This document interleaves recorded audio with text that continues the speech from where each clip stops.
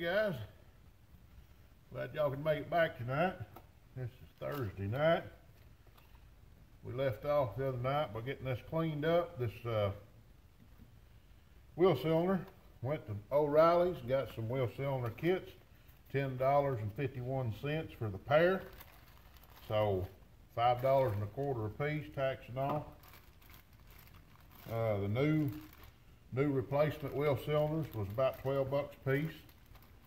So save a little money there. I priced the rear brake shoes for this. It's gonna be about twenty-six, twenty-eight dollars. So we'll have about thirty-eight bucks tied up and getting the rear brakes fixed. And uh, I gotta get a rear brake line. So uh, uh, that'll probably be another twelve, fifteen dollars, maybe, maybe more than that, I don't know. I didn't price that. But, uh, nevertheless, we, uh, got this wheel cylinder kit. We're gonna go ahead and stick this thing together. Because, uh, might as well, huh? Right, got a little brake fluid here. I usually just use dot three. Let me clean this out. Use this just to pour a little bit in. I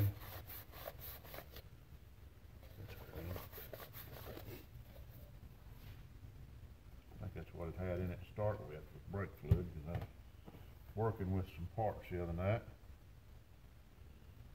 Alright.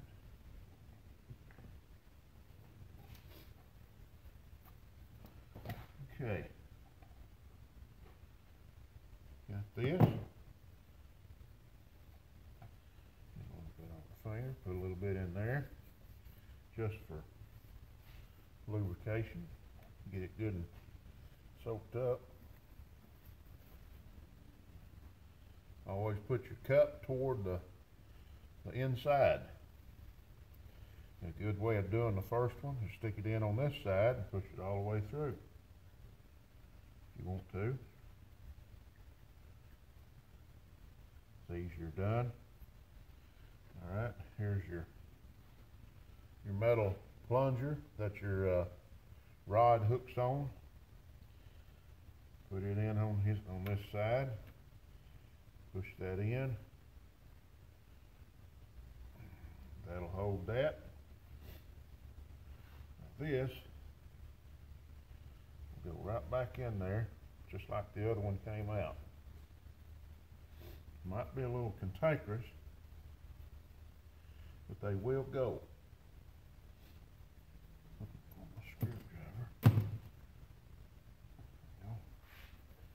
Something just to kind of help that lip get in there.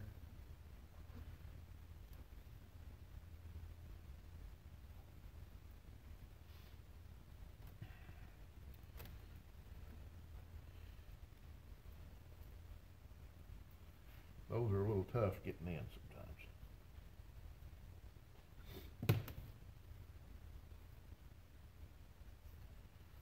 a little bit more here.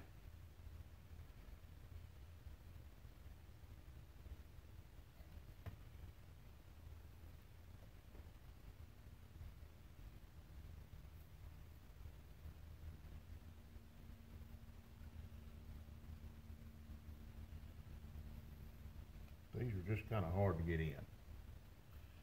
So. Just got to work with them.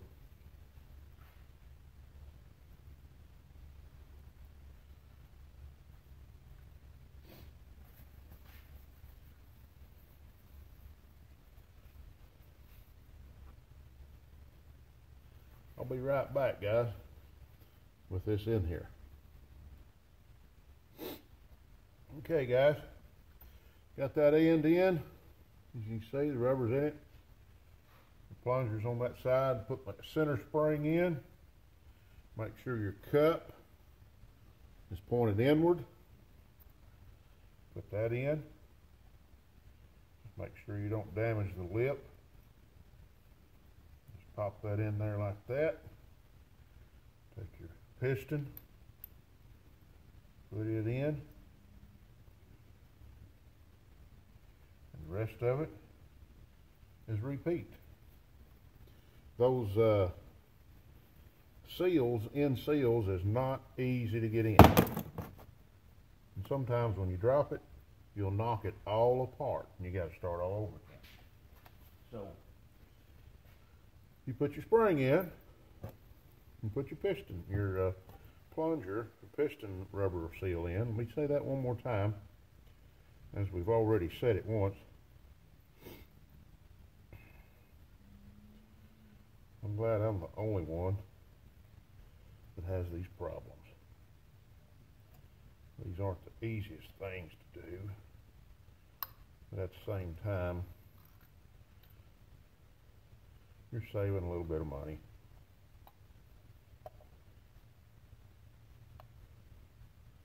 So why not save a little money in the process? That way you can put your money elsewhere. Okay, got that now. Now these are really a booger to get in. As always, one side will go in and the other one don't want to. That's the trouble with them.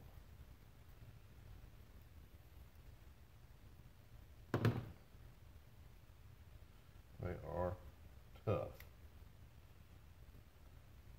There's a little metal ring inside there. You got to get it just right, or it'll just go one-sided.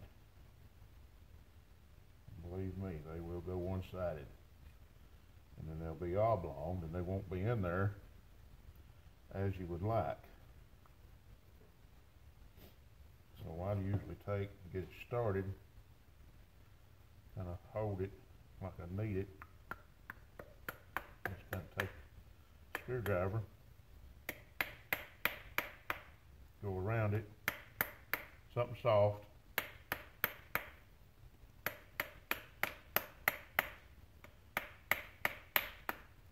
just like that. As you can feel, that metal ring is all the way up in there now. Now we got that one in. So that one's ready other than putting my bleeder back in. I always want to pull those out, clean everything out real good. And uh, and that's ready. Let me put just a little bit of uh, this here on that. Just for a little bit of insurance on those threads.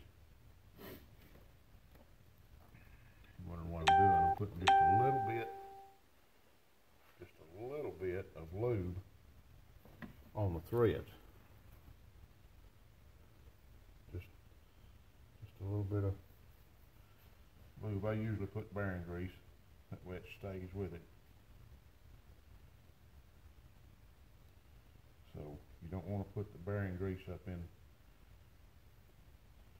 up in the wheel cylinder, of course. But put a little bit on there and then that's lubed up and then it'll work good. Anyway, that's a wheel cylinder kit, guys. So that's the part two of repairing one and rebuilding compared to buying all brand new. That saves you saves you uh, say five to seven dollars a side. Takes a little bit of time of cleaning and a little bit of work to where if you if you got plenty of money and you got that little extra, you know, laying around, you can just run up there and buy a pair of these at the parts store. I got these at O'Reilly's, and uh, they seem to have everything I need anytime I go in there.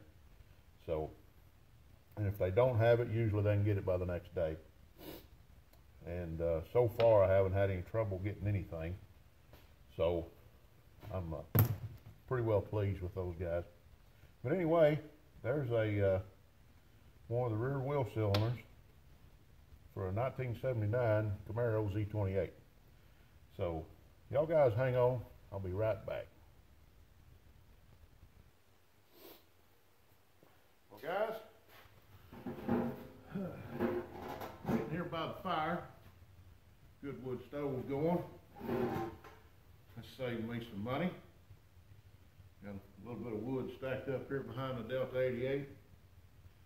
And uh, we, uh, gotta remind ourselves every once in a while, we're trying to get to the No Name Nationals at the end of September with the, uh, I've started calling it, instead of the Outfit Z, we're gonna call it, we're gonna call it the, uh, OGOZ. Or we could call it the OGZ. Cause it's the original car that I'm ever gonna do a street drag race, or strip drag race. And I have done a little bit of strip, uh, street racing back when I was young. Of course, I'm not gonna say where and what I was doing. I consider it street racing. But, uh, I don't do that anymore. I've gotten a little older and a little wiser. But, uh, uh, we've just gotta try to get five hundred subscribers, you know? And with that, it takes hitting that button right over here in the bottom of the corner when you're watching this video. I know there's quite a few people that's watching that's already subscribed, but, uh, we need, we need everybody that watches to go ahead and just hit that button right, right down here. And, uh, hit that subscribe button. And, uh, it's not gonna cost you anything. Matter of fact, if you'll hit subscribe tonight, I won't charge you anything for the next episode. So, uh, if we get five hundred, we're guaranteed to get qualified in. But until we get five hundred, we're not gonna get there. So, we have, uh, we had a one hundred subscriber giveaway. We had a model car. Matter of fact, y'all just hold your horses right there. All right, guys. We're back. We gave this car away to Mr. Steve Wood because he was one of the commenters on the 100 subscriber giveaway uh, qualifier, and uh, he has yet to contact me. So I've tried to reach out. I've tried to call out to him. I've messaged him on his post where he commented on my page, and I'm really needing Steve Wood to get a hold of me. But uh, I'm going to hold that until he does because I don't want to cheat anybody. I don't want to take anything away from anybody. But I'm going to give him ample time to get a hold of me. So, Steve, if you're watching, message me on this video, and uh, I'd like to get this to you because it's uh, you want it for fair and square, and uh, I don't want to don't want to cheat nobody out of anything. But anyway, with that being said, we are uh, we're above 100 subscribers now, and I said that we was going to have another giveaway, and uh, the next giveaway will be something a little bit bigger, a little bit nicer, but it'll be for 250 subscribers. So if we can get to 250 subscribers pretty soon, I'm not going to put a date on it, but the sooner the better. That way we can just roll on and, and not have to to uh, work so hard to try to get subscribers. And I know I know I'm sounding like I'm begging, but I'm not begging. I'm just trying to get the uh, understanding of we need subscribers. So, but uh, for 250 subscribers, we're gonna have another giveaway, and it's gonna be something a little bit nicer. And uh, I don't know what it could be, but it might have some, uh, might have some logo or something on it. I'm not, I'm not sure, but it, it could be something, something that you wear. And, uh, so, you know, we're not, you're not supposed to sell merchandise on your YouTube page until you get ten thousand subscribers, so I'm not selling anything, so, but I know there's, could be a giveaway that might have something like that, you know. Outfits Garage has That way, Outfits Garage could might get promoted a little bit more. So, we're nothing, nothing rich, I can promise you that. We're, uh, just poor boys that, that, uh, like to do work on cars and, uh, piddle around on race cars and stuff. That, uh, this car, the number ten mini stock here, it's not my car. It's, uh, another man's car that has a body shop and a salvage yard. And, uh, it's his car. We, we took it sitting in a barn. He'd had it sitting in a barn for probably six or seven years or longer, maybe eight. And we took it and got it back in shape and upgraded a lot of things, updated a lot of things, and, uh, got it looking a lot better. And so we're, we're trying to, uh, get this thing to rolling again. They have, they've actually cut this class out most everywhere around here now, so what we're gonna do is get it good and good and cleaned up, running and, and winterized and all real good. We're gonna take it back out to his shop. He's got a nice place to, to store it. And, uh, we're gonna take it out there and it'll make room for the OGOZ, whatever. I just call it the Z twenty-eight. Let me just do that. OGZ28. I don't care. It's just a car. The T-top. But, uh, we're gonna get it over here, get it up on some jack stands, do some more work on it. We're gonna get the brakes working. We're gonna get, uh, not very far off, we're, we're gonna be getting some pistons in. Gonna get some pistons on some rods. We're gonna get some bearings, some rings, some gaskets, and we're gonna start building a three twenty-seven to go off in it. And, uh, many of you suggested that I put a, put the, uh, five-speed in the car. Give me some more input on that if y'all will. Uh, five-speed or a turbo three fifty. So, I know what a five-speed will do. It'll, it'll, it's pretty much guaranteed to shift as long as you got a good clutch and you got oil in the transmission. Where that automatic, if it's not just right, I know how they are. We done blew one up in Matthew's number twenty-four race car over here. So, uh, so we, that's the reason why we went ahead and went with three-speed in it. But this one, the, if we go that route, we'll have a, uh, three twenty-seven with a five, late model five-speed transmission in it. Three forty-two gears, posi track rear end. Ought to be a fun little car with a, uh, three hundred horse heads, big valves, big springs, big cam, and, uh, try to have us a big full barrel on top of it. So, gas may be thirty-two dollars a gallon by then, but, uh, maybe we'll be able to buy three or four gallons and have a little fun, but, uh, we'll just do what we can. But until then, we need, uh, looks like we're needing about four, a little over four hundred and seventy, right at four hundred and, uh, four hundred and eighty-eight subscribers is what we're needing. No, we don't need four hundred and eighty-eight, we need, I don't know how many, I can't add right now, I'm tired. But, uh, anyway, we got hundred and twelve is what we have, so I'm, I'm, I'm, uh, three hundred. I don't know how many we need, y'all know how many we need. I'm all messed up, so. Anyway, I'm tired, fixing to shut this thing off, go in the house, and, uh, sit back and rest a while. And, uh, I need a little inspiration, guys. I need a little help getting this thing going. So if we can get another, another hundred and fifty subscribers, that'd really make me happy. That'd probably get me a little bit more inspired to jump in here, and get, uh, a motor together, get, uh, transmission hooked up to it, get the motor and transmission in that car, get a drive shaft built for it, fire that thing up, would that, wouldn't that be nice? I think we'll do that, that'll be the next thing we do.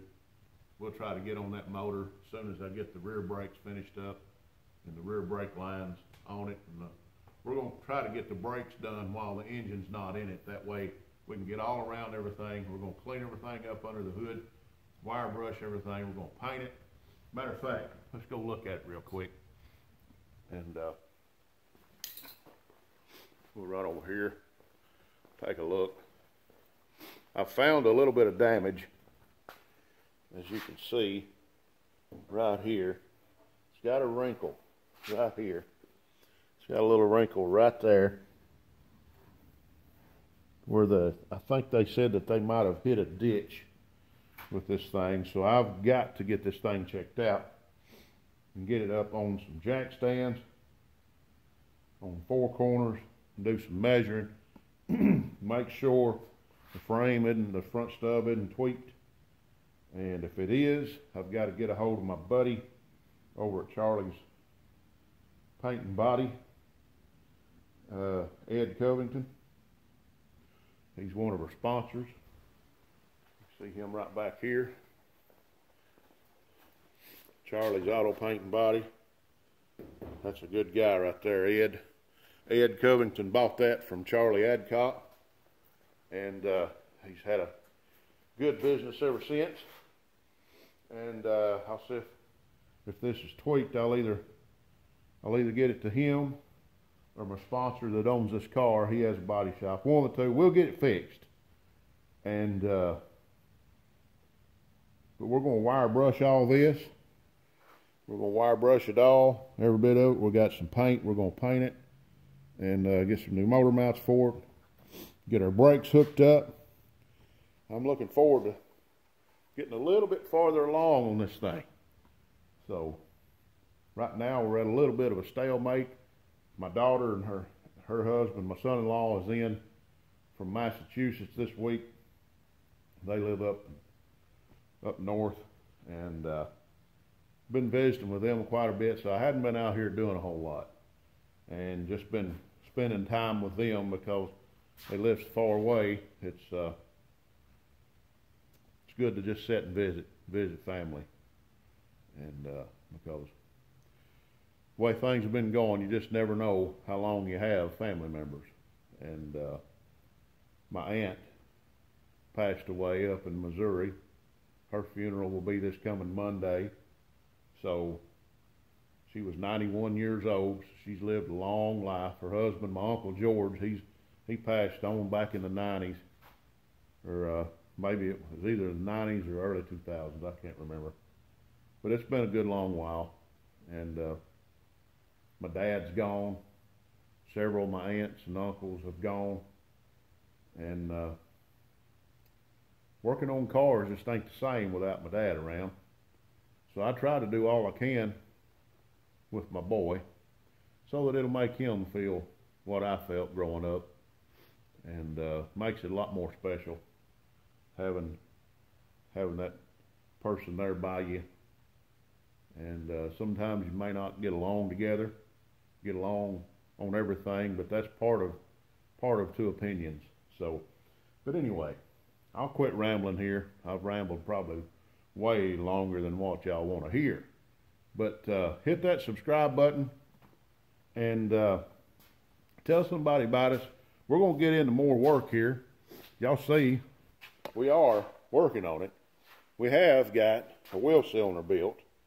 So we've got another brake kit right here for it. So uh, we're going to get back on this thing.